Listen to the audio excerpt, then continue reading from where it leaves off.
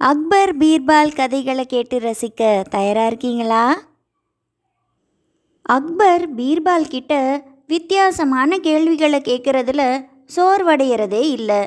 பீர்பாலும் அவரோட பதில்களால் பேரரசரை ஆச்சரியப்படுத்துவார். எனவே அரசவையில் இருக்கிற அனைவருக்குமே பீர்பாலுக்கு பதில் தெரியாத கேள்விகளே இல்லைன்னு புரிஞ்சுக்கிட்டாங்க.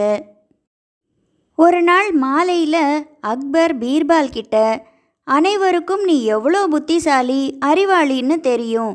அவங்களுக்கு உன் அறிவுத்திறனை மீண்டும் ஒரு முறை காட்டு. நான் ஒரு கேள்வி கேட்பேன் அதுக்கு சரியான பதில் சொல்லுன்னு சொன்னார். பீர்பாலும் நிச்சயம் மன்னரே நான் உங்களுக்காக அதை செய்கிறதுல ஆர்வமாக இருக்கேன்னு பதில் சொன்னார்.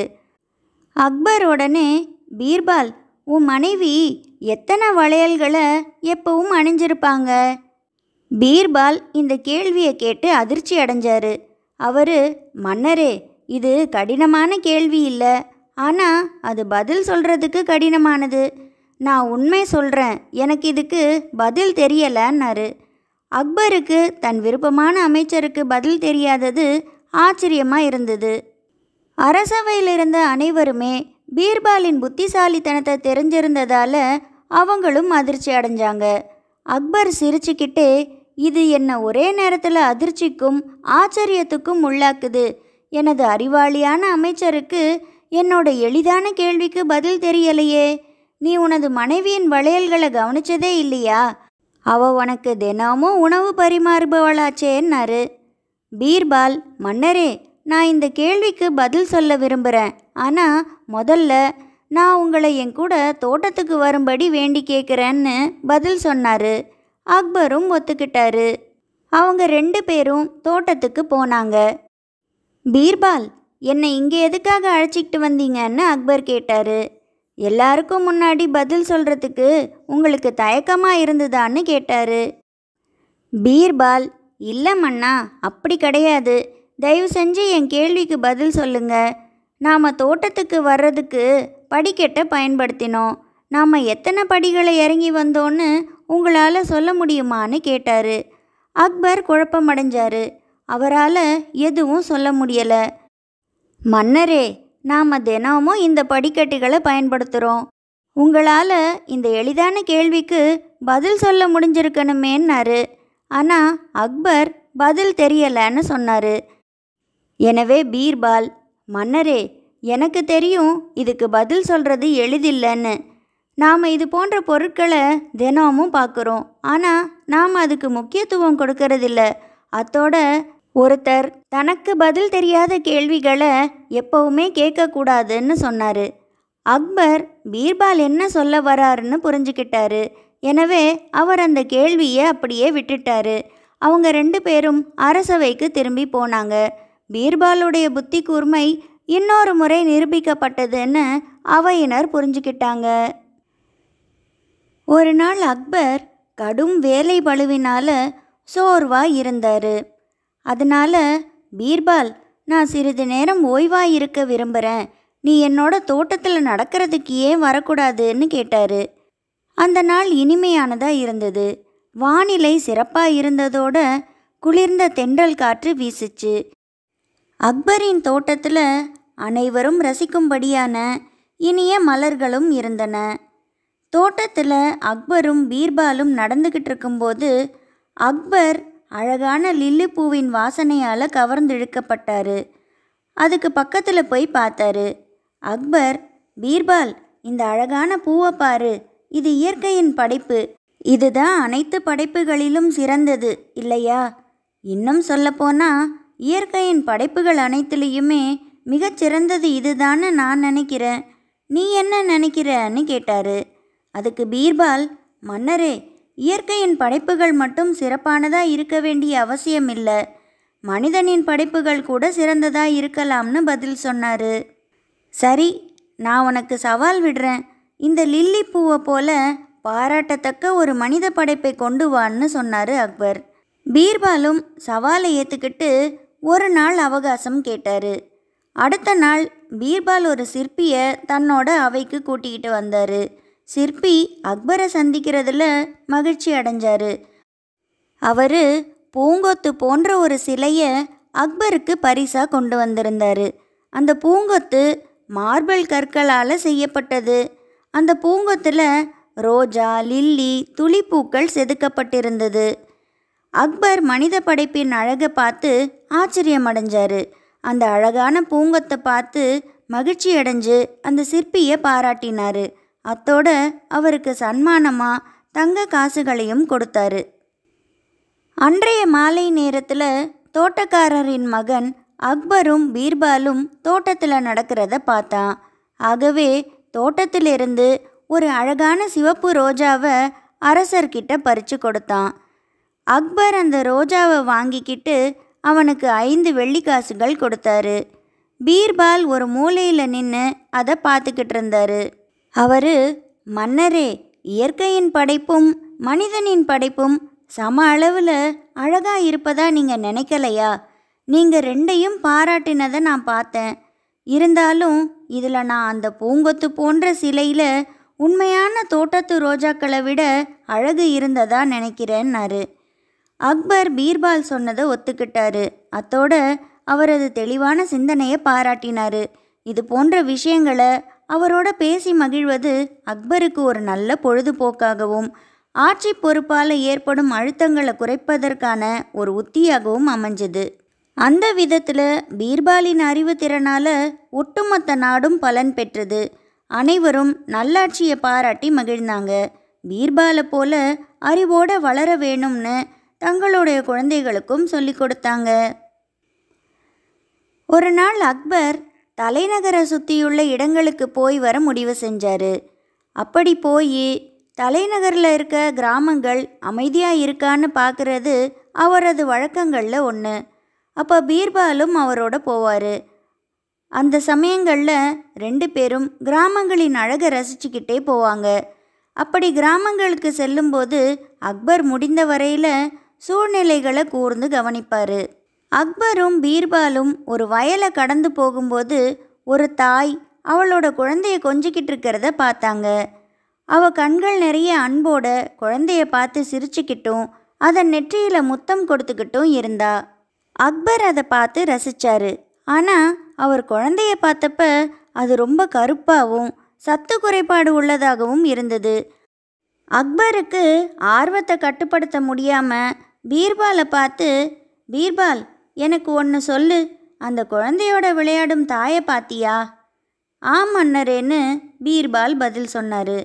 அக்பர் தொடர்ந்து அந்த குழந்தைய பாரு. அவன் கருப்பாகவும் பலகீனமாகவும் இருக்கான். இருந்தாலும் அவனோட தாயால் அந்த குழந்தை மேலே நிபந்தனையற்ற அன்பை செலுத்த முடிவது எப்படி? அவ அதை பார்க்கலையான்னு கேட்டார். பீர்பால் அக்பர்கிட்டேருந்து இது போன்ற வார்த்தைகளை கேட்டதால் அதிர்ச்சி அடைஞ்சாரு. அதுக்கப்புறம் அவர் மன்னரே அன்னை கடவுளின் படைப்பு. அவளுக்கு இந்த உலகத்தில் இருக்க அனைத்தும் அன்பாகவும் அழகாகவும் தெரியும். மேலும் அவ எல்லா விஷயத்திலையும் சிறந்ததையே பாப்பா. இதுவே அவளோட குழந்தைன்னு வரும்போது நிபந்தனையற்ற அன்பா மாறுது. அவளுக்கு தோற்றம் முக்கியமில்லை. அது அவளது குழந்தைங்கிறதே முக்கியம். அதை அவ ஒன்பது மாதங்கள் தான் உடம்புல சுமக்கிறா. அதனால் அது பிறக்கும்போது அது அவளுக்கு உலகத்தை தாண்டின மகிழ்ச்சியை தருது. எனவே ஒரு தாய்க்கு எந்த குழந்தையும் கருப்பாகவும் ஆரோக்கியமற்றதாகவும் இருக்காதுன்னு பதில் சொன்னார். அக்பர் குழந்தைய பார்த்து அந்த வார்த்தையை சொன்னதுக்காக வருத்தப்பட்டார். ஆனால் அதுக்கப்புறம் அவர் இந்த உலகத்திலேயே அழகான குழந்தைய பார்க்க ஆர்வமானார். பீர்பால் நீ சொல்ல வர்றது புரியுது. இருந்தாலும் எனக்கு இந்த உலகத்திலேயே அழகான குழந்தைய பார்க்கணும். உன்னால் அதை செய்ய முடியுமான்னு கேட்டார். அதுக்கு பீர்பால் ஆம் அண்ணா என்னால் செய்ய முடியும். ஆனால் நீங்கள் நாளை வரை காத்திருக்கணும். அடுத்த நாள் பீர்பால் பாதுகாவலர்கிட்ட உலகில் அழகான குழந்தையை கொண்டு வந்து மன்னர் முன்பு காட்டும்படி கட்டளையிட்டார். அவரும் கிளம்பி போனார். சிறிது நேரத்துக்கு பிறகு அந்த பாதுகாவலர் திரும்பி வந்தார். மன்னரே இதோ மிக அழகான குழந்தைன்னாரு. அக்பர் அவர்கிட்ட இது மிக அழகான குழந்தைன்னு அவருக்கு எப்படி தெரியும்னு கேட்டார். அதுக்கு பாதுகாவலர் தான் அந்த குழந்தையின் அன்னையிடம் கேட்டதுக்கு அவ தான் அப்படி சொன்னான்னாரு. அதன் மூலமாக அக்பர் அன்னையின் அன்பு நிபந்தனையற்றதுன்னு உணர்ந்துக்கிட்டாரு உலகில் உள்ள எல்லா குழந்தைகளும் அதோட அன்னை பார்வையில் அழகானவைதான்னு புரிஞ்சுக்கிட்டாரு இதை புரிய வச்ச பீர்பாலுக்கு நன்றி தெரிவிச்சாரு. ஒரு நாள் மதியம் அக்பரும் பீர்பாலும் தங்களுக்குள்ள நகைச்சுவையாக பேசிக்கிட்டும் சிரிச்சுக்கிட்டும் இருந்தாங்க. அக்பர் ஒரு நாளின் பெரும் பகுதியை பீர்பாலோட செலவு செய்கிறதால அவரை போலவே சமயோஜிதமாக பேசிக்கிட்டு இருந்தாரு. பீர்பாலும் அக்பரின் சமயோஜித திறனை பார்த்து வியந்தாரு. பீர்பால் மன்னரே உங்களுடைய நாட்டில் சிறந்த புத்திசாலி மற்றும் அறிவாளிங்கிற பேரை என்கிட்டேருந்து நீங்கள் பறிச்சிடுவீங்களோன்னு எனக்கு பயமாக இருக்குன்னாரு. அக்பர் சிரிச்சுக்கிட்டே பீர்பால் நான் முத நாள்லேருந்தே உனக்கு எதிராக சூழ்ச்சி செய்துக்கிட்டு இருக்கிறது உனக்கு தெரியாதான்னாரு. அவங்க ரெண்டு பேரும் இன்னும் சத்தமாக சிரித்தாங்க அதை பார்த்து அவையில் இருந்த மற்றவங்களும் சிரித்தாங்க திடீர்னு ஒரு பாதுகாவலர் பேரரசர் முன்பு வந்து வணங்கி நின்னாரு.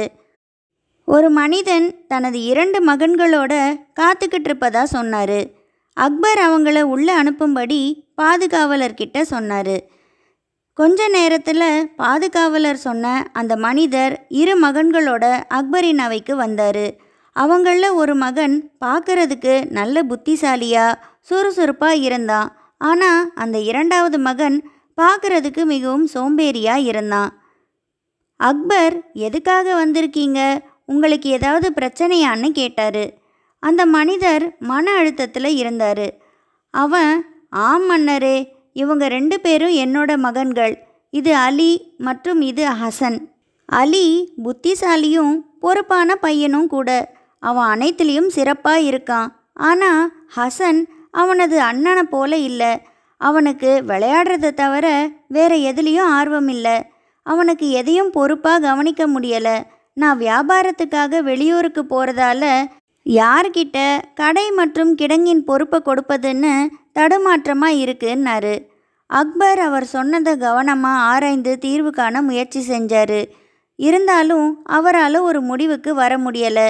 எனவே அவர் பீர்பாலை கூப்பிட்டு பீர்பால் இந்த சூழ்நிலை எளிமையாகவும் கடினமாகவும் இருக்குது இதை பற்றி நீ என்ன சொல்கிற இவங்களில் எந்த மகன்கிட்ட பொறுப்பை தரது சரின்னு நீ நினைக்கிறன்னாரு. பீர்பால் மன்னரே கவலைப்படாதீங்க. நான் இதை சமாளிப்பேன்னாரு. அதுக்கப்புறம் அவர் அந்த மனிதரை பார்த்து நண்பரே நீங்கள் கடையின் பொறுப்பு ஹசனிடமும் கிடங்கின் பொறுப்பு அலியிடமும் ஏன் கொடுக்கக்கூடாதுன்னு கேட்டார். அந்த மனிதர் பீர்பாலின் வார்த்தைகளை கேட்டு ஆச்சரியமடைஞ்சார். அவர் ஆனால் பீர்பால் அவர்களே ஹசன் வியாபாரத்தை கெடுத்துட மாட்டானா? நான் கடையை அவங்கிட்ட எப்படி விடுறது?